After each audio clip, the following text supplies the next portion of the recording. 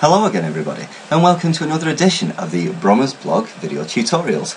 This week we're going to take a quick look at the use of planes, i.e. ground and power planes within a DesignSpark PCB design.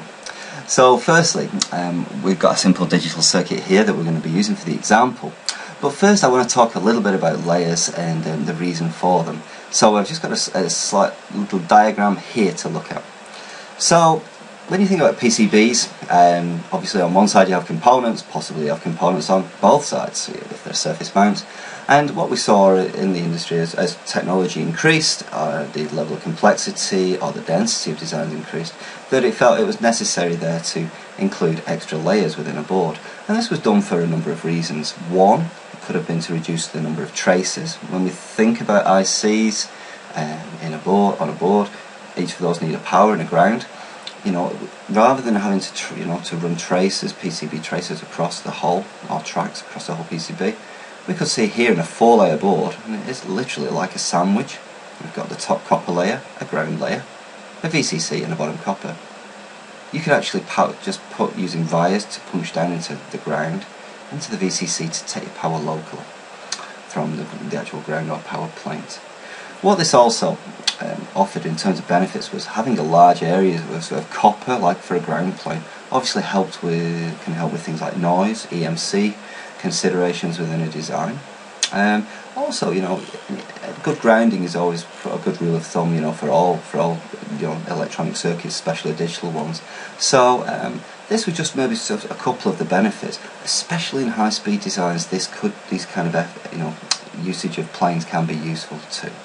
So what we're going to look at today is how we take what we see as like a simple two-sided board within DesignSpark PCB and we're going to introduce extra layers which actually physically exist sandwiched within a circuit board.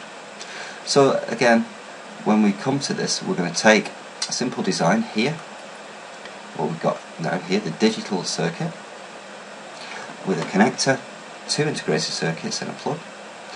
We're going to do a quick translation to PCB and we're going to look to introduce board layers for the VCC ground. So very quickly we're going to come to the translate PCB which I covered in the last video. I'll just rush through to where I want to be. So here we can see on this screen that we're defining the layers. So the def defaults come off this design as a two layer board. What we want to now do is to increase this to four layers and now we can see just here that these have become active layers 2 and 3, i.e. inside the board. At this point here, I can set these, and these are nets that are available, are available from within the schematic. I'll set layer 2 to VCC, and I'll set layer 3 to ground. You can see here, actually now in the options with the DesignSpark PCB, that it has the capability to go up to 14 layers so you can imagine a 14 layer sandwich PCB.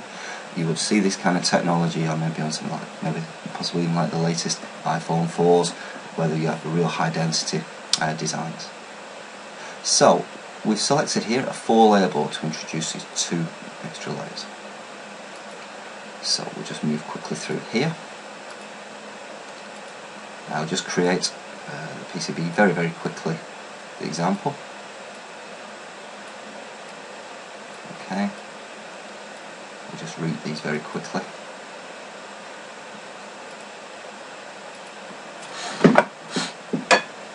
Okay. So, zoom in on this.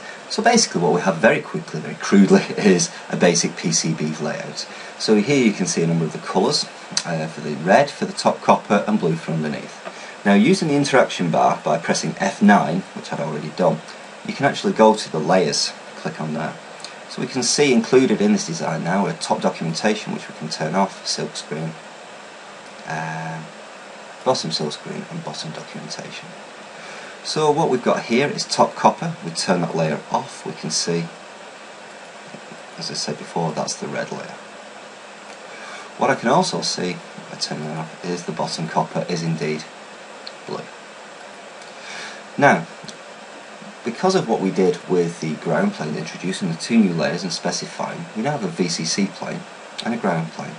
Now you won't see this now here just by turning it on and off because it is going to be a complete sheet of copper if you like. or a layer.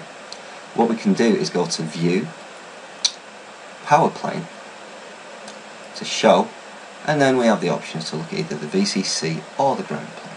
So by looking at the VCC plane, have there, the whole screen goes green. Um, that was just a layer that was set up by default for layer 2, but you can change this. Is that we see here, uh, the point of interest, here, uh, we just move up a little bit. Here we can see a pad there that's been isolated completely from the ground layer. But this pin here is the, something like the ground layer, but from the VCC layer.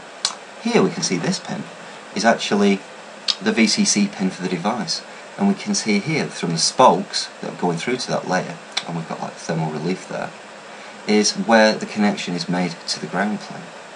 Now if we sort of go back to you know what we said about reducing the number of traces, if we had not had that ground layer, we may have possibly there had to do extra tracing down to, I think this is the VCC pin here, our ground, and you know it would have been extra work.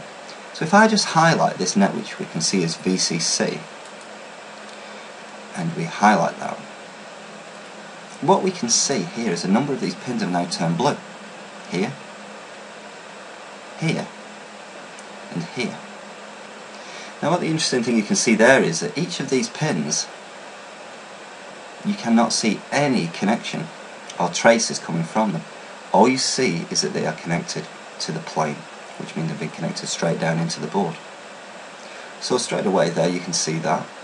Um, if we then look to highlight the power plane for the ground plane, similarly, what we will see is pins here.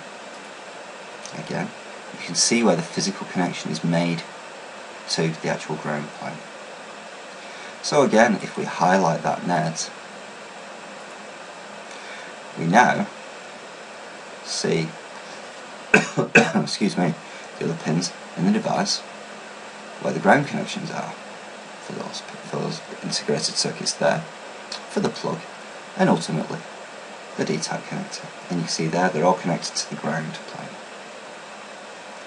So just to recap what we've actually done there we've shown that by using the ground plane or the VCC plane we've been able to provide layers within the board, um, a complete sheet, if you like, of the copper within the board sandwiched, and be able to connect straight down into that board just simply by using you know, vias or punching through down, not, not using vias but drilling down through that board and being able to tag on to those layers, which has allowed us to reduce the number of traces that we actually physically needed on the board, PCB tracked, also potentially has given us some advantages with regarding grounding, um, you know, um, EMC issues that we want, you know, maybe have to have some, you know, protection against. And um, all in all, using the translate to PCB function which you saw within the wizard, which makes it a little bit easier, you can automatically insert new layers and assign them to whichever nets you see fit. In the case of today's example, we used the VCC and the ground nets to do that. So I hope you found this of interest this week, and certainly you will find plenty of information in the help files by pressing F1 in DesignSpark PCB on how to do this. But thank you very much.